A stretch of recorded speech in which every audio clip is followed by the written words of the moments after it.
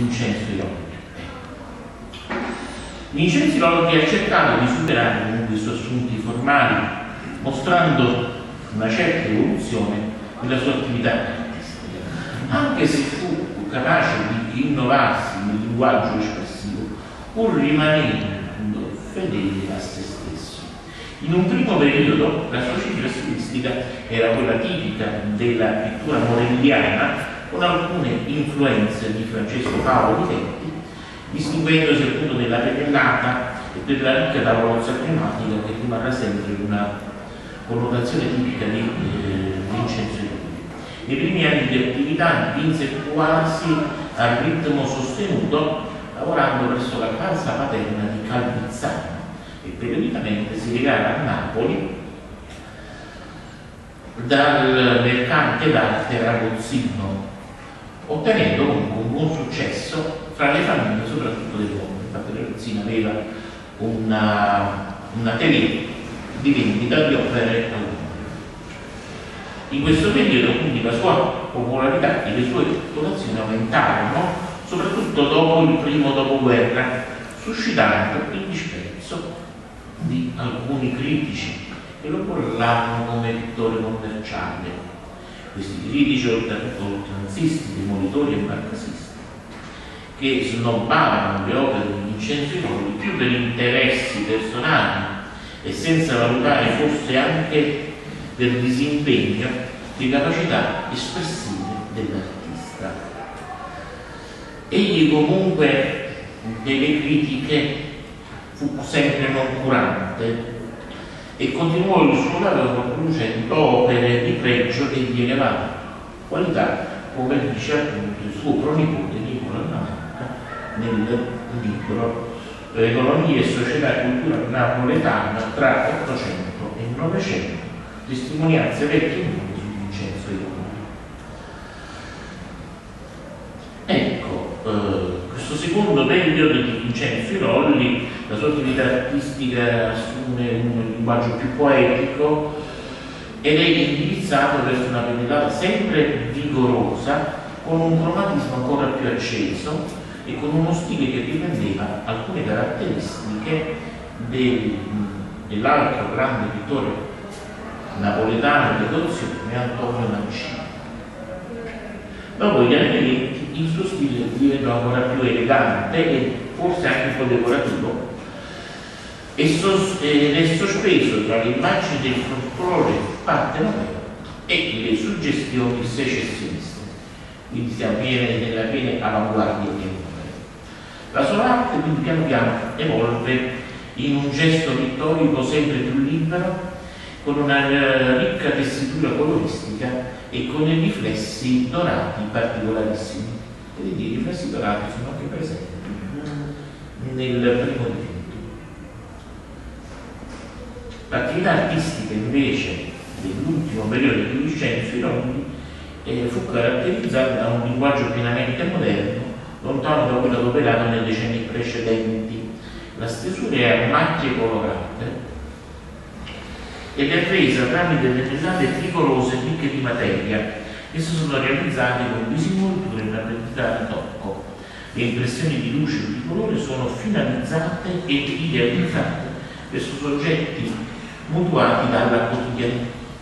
Egli era consapevole che la sua pittura poteva essere considerata per alcuni aspetti antiquato, ma lo rincuorava il fatto della costante richiesta di eh, collezionisti amici e dei mercati. E quindi continuò a dipingere restando fedele al suo personalissimo e unico stile. Adesso invece passiamo alla seconda parte del nostro seminario eh, con l'approfondimento di due dipinti di Vincenzo Rirolli.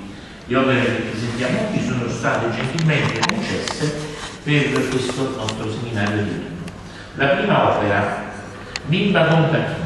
Abbiamo detto che è un acquerello su carta lavorato a mano ed è stato, ed è stato dipinto nel 1930.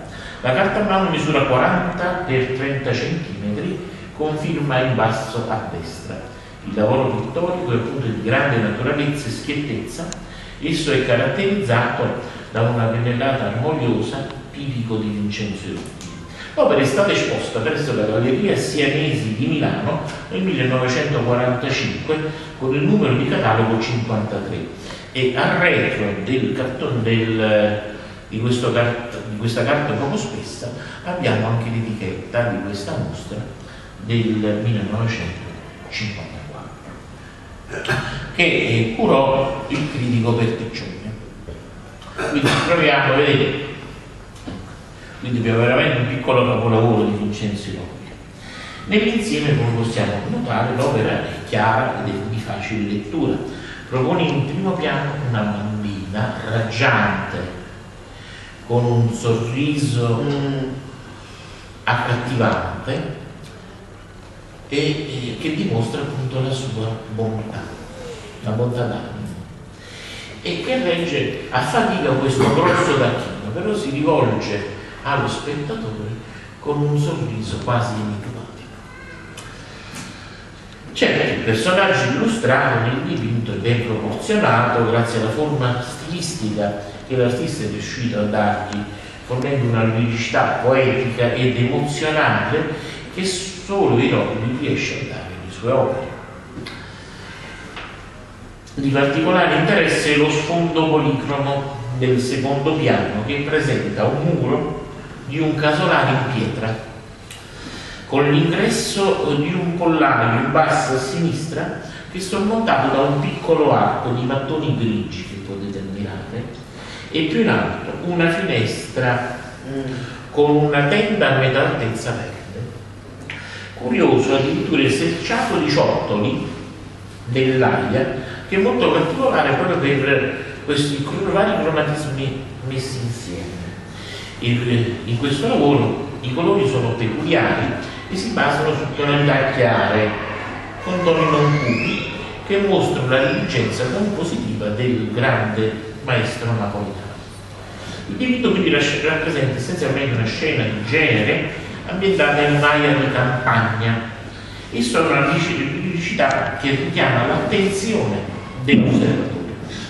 Lo stile del dipinto di Vincenzo Lodi è quello tipico del feminismo periodo. Infatti in questo lavoro si nota l'influenza del post-impressionismo e della tecnica divisionista nell'accostamento di macchie di colore sovente intervallate dal cartoncino di fondo.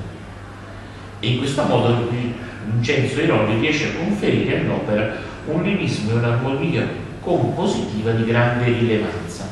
In questo lavoro egli esprime una serenità grazie ad occhi non frettolosi. La pennellata in quest'opera è precisa, ben calibrata ed è tipica dei lavori realizzati dopo il 1920. Nell'insieme la composizione mostra un lirismo che conferisce al lavoro pittorico un'armonia particolare. Probabilmente l'opera è molto dolce e forse un po' esuberante nella felicità e nella serenità. Quindi Ecco, e questo è quello che ricercavano i, i suoi collezionisti, i suoi appassionati. Indubbiamente l'opera del maestro Vincenzo Iroli rientra nella schiera delle scene di genere all'aperto in campagna, che sono una tematica ricorrente nella singolare ricerca artistica del maestro campano. Globalmente il lavoro riprende alcune opere di Paul come ad esempio l'opera L'Este del 1912 per alcune caratteristiche dei muri della chiesa di Notre Dame che sono simili ai muri che sono presenti in quest'opera. Quindi parliamo del massimo esponente del eh, pointillismo francese e di Vincenzo Lolli. Vedete, questa concomitanza è una delle concomitanze che sarà sottolineata anche dai critici francesi quando Pirolli esponeva a Parigi. Mentre la seconda opera, Il ritorno dalla scampagnata, è un acquerello su cartoncino che misura 17,2 cm per 25,2 cm, con firme in basso a sinistra. Il lavoro è caratterizzato da una pennellata armoniosa tipica del maestro Rirolli e nella sua globalità l'opera si mostra chiara, e anche qui di facile lettura e propone in primo piano quattro donne vestite con abiti sgargianti che stanno ritornando a casa dopo una scampagnata fra. Quindi già il soggetto è un soggetto moderno. Nel loro insieme appunto i personaggi sono ben proporzionati. Nel secondo piano invece possiamo notare un boschetto situato a fianco delle quattro donne che rientrano a casa con un po' eh, e una presenza di una donna con in braccio un bambino che si trova un poco più in fondo e ancora più in fondo un'altra donna. Nello sfondo possiamo notare in alto un altro boschetto, in alto a sinistra, e una montagna, un rilievo, che è vista di profilo. In quest'opera i colori hanno tonalità un poco più uh, vivaci e hanno queste sfumature gialline tipiche degli anni 10, 12, 13 del Novecento della produzione di Vincenzo Iroli, appunto il periodo del, della secessione eh, viennese e berlinese, che richiamavano, che mettevano in queste loro opere questo richiamo alla luce che eh, essenzialmente è un richiamo all'arte italiana del 300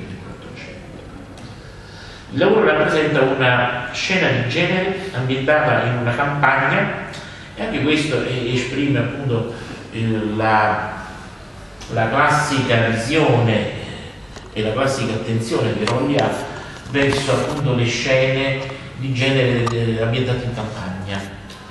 Eh, perché Vincenzi Rolli, pur se aveva una committenza essenzialmente con i collezionisti borghesi, principalmente borghesi dell'alta borghesia, i grandi avvocati, i grandi medici napoletani di quel periodo, ecco, eh, però portava sempre la realtà che forse aveva vissuto da bambino vivendo appunto in un piccolo paesino del napoletano. I lavori qui, eh, lo stile del dipinto è quello appunto di questo secondo periodo di Vincenzo Rolli e si trova appunto eh, un'impronta impressionista, soprattutto se uno tiene presente la pittura impressionista che si sviluppa eh, fuori dalla Francia e questo ci sono proprio dei richiami anche nel modo di eseguire la pennellata. La pennellata, tornando sempre a sempre pennellata, è abbastanza precisa eh, ed è tipica eh, dei lavori di questo periodo del, del, di dopo il, dei primi anni del Novecento.